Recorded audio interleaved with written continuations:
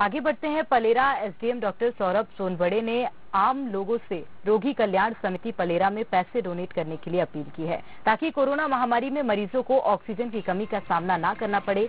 पलेरा के ward number दो में हरेंद्र विश्वकर्मा के पुत्र आर्यन और काव्य ने अपने गुल्लक में जमा हुई करीब पाँच हज़ार दो सौ पचासी रूपए की राशि अपने माता पिता से पूछकर तहसील कार्यालय पहुंचकर तहसीलदार कमलेश सिंह कुशवाहा को सौंप दी। जब तहसीलदार ने दोनों बच्चों से पूछा कि आप पैसे क्यों देना चाहते हो तो बच्चों ने कहा कि वो अपनी बचत राशि ऑक्सीजन प्लांट के लिए दान देना चाहते हैं। तहसीलदार कमलेश सिंह कुशवाहा ने दोनों बच्चों की तारीफ़ करते हुए कहा कि जब छोटे छोटे बच्चे आगे आ रहे हैं तो और भी दानदाताओं को पलेरा सामुदायिक स्वास्थ्य केंद्र ऑक्सीजन प्लांट के लिए आगे आना चाहिए।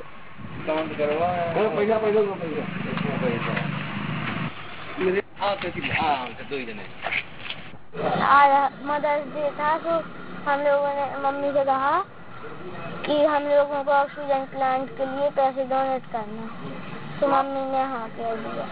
तहसीलदार को तहसीलदार साहब को हाँ दे दिए आपने उनको हाँ। हाँ आज हमारे पास काव्या और आर्यन नाम के दो बच्चे आए थे। उन्होंने मुझे बताया कि आज मदर्स डे है तो उन्होंने अपने हर साल दिवाली पर फोड़ते थे अपनी गुल्लक। लेकिन आज उन्होंने अपने मम्मी पास से पूछा तो उन्होंने बोला आज ये अच्छा दिन है कि इसी दिन मैं अपने कंट्रीब्यूट करूँ कुछ अपने इसके लिए पलेरा के लिए।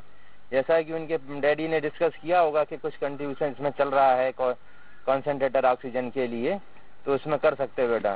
तो दोनों ही बड़े ही उत्साह के साथ में हमारे पास आए अपनी अपनी गुल्लक लेके, जिसमें उन्होंने हमें बड़े ही अपने उत्साह के साथ में डोनेशन दिया है।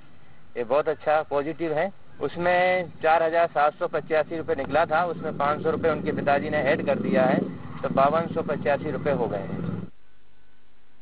इसी के साथ खबरों में फ़िलहाल इतना ही। जाते जाते आपके लिए